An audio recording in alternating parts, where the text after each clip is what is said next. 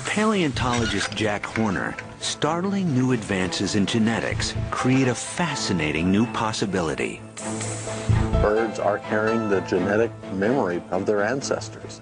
So we can re-retro-engineer, basically, uh, dinosaur characters from a bird. Horner's belief rests on experiments that are already uncovering these dinosaur features.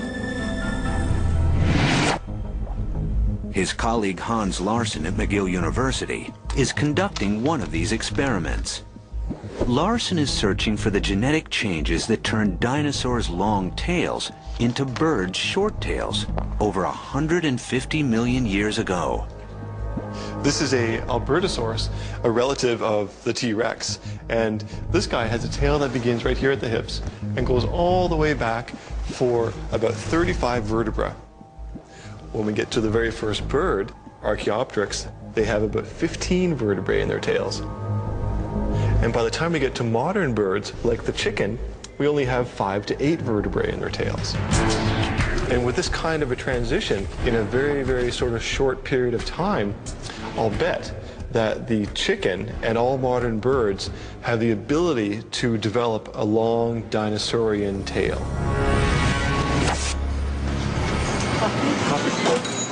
Larsson is a new breed of paleontologist at the forefront of a new field. He's helped discover seven new species, including a giant carnivore in the Arctic. But he's equally at home in the genetics lab and eager to apply molecular techniques to the study of dinosaurs.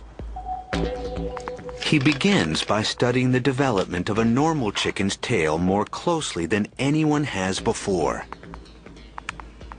He stains embryos at different stages of development.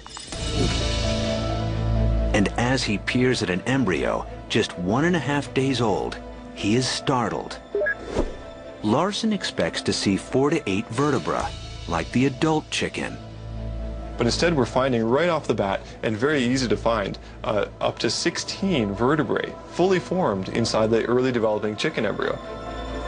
So we're seeing that we have these really, or really, fairly elongate tails, these sort of reptile-looking tails on birds uh, early in development. And then if we follow it through development, we see that it gets shorter and shorter and shorter until they hatch. And then we have only about five vertebrae left in the tail.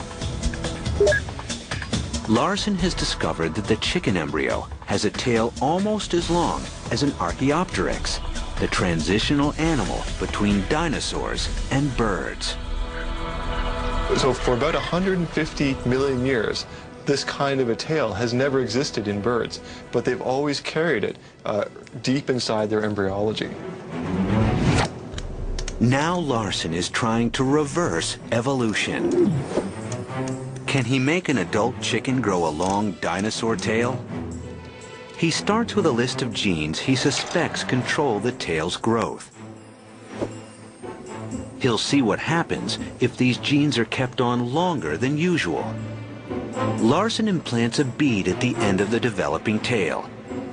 It contains the same protein that a gene would manufacture if it stayed active after it normally shuts off.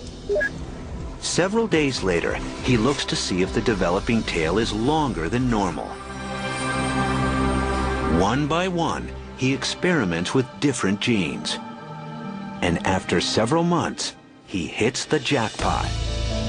Here's what we found. We found that we could extend the tail a little bit longer. So now we have three more vertebrae added into the tail. And moreover, I think even more exciting for me is that the scaffolding that all the vertebrae are developing onto is enlarging as well. Larsson suspects that the genetic system for developing a dinosaur tail is intact in modern birds.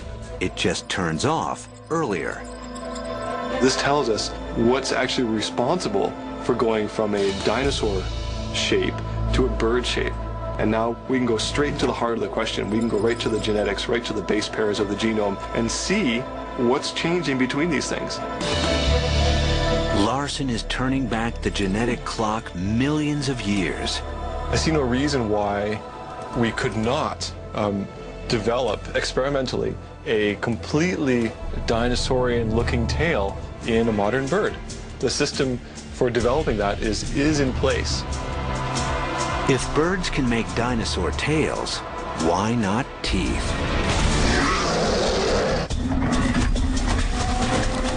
Since a bird's DNA contains a dinosaur tail, does it also contain other dinosaur features? Occasionally, an ancient evolutionary feature pops up naturally as an atavism, a repressed ancestral trait. This recently discovered dolphin has vestigial legs. Modern dolphins no longer have them, but their ancestors did. The genes that trigger the formation of legs are now turned off, but the genetic circuit to make them is still there, and once in a blue moon, a mutation turns it back on.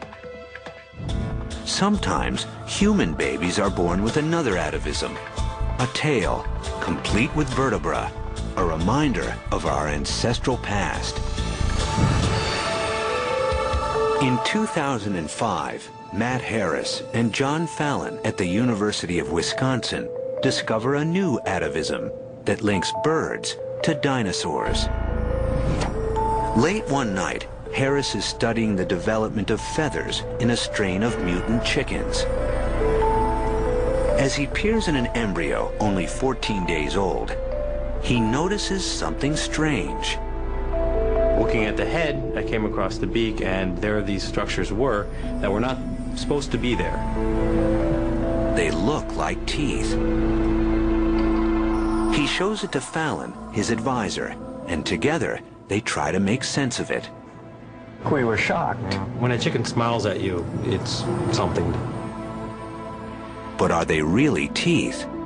What would birds' teeth even look like? We started to talk about what the closest living relative of birds would be, and that would be the crocodilians, and alligators would be something we could get our hands on. They peel away the beak to examine the structures more closely and clearly see that they are saber-shaped, just like the teeth of alligators. They even section their structure and compare it with a section of an alligator tooth at the same stage of development. What we see here is that in an embryonic alligator, you have little bumps, which is actually the formation of these embryonic teeth. In the mutant, you get expression in the same regions. The same developmental programs are being turned on. Teeth are developing in this mutant. Their chicken is on its way to developing teeth similar to alligators, T-Rex, and Archaeopteryx.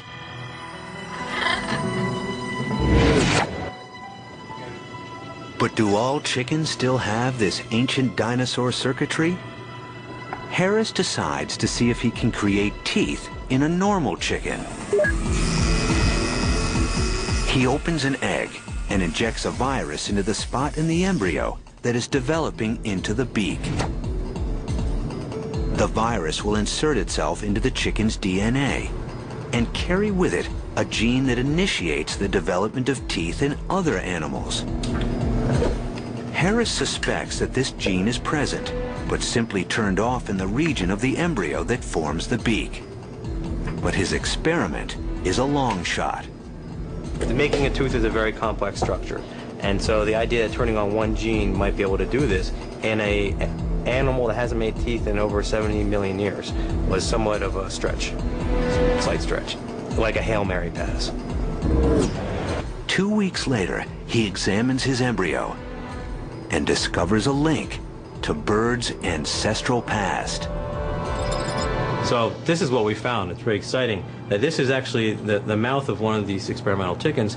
And well, you can see very clearly the fact that you grow paired structures here on the lower jaw that look like teeth. And so the normal chicken can actually grow teeth. We were both very surprised. Yeah, it was, it was totally unexpected.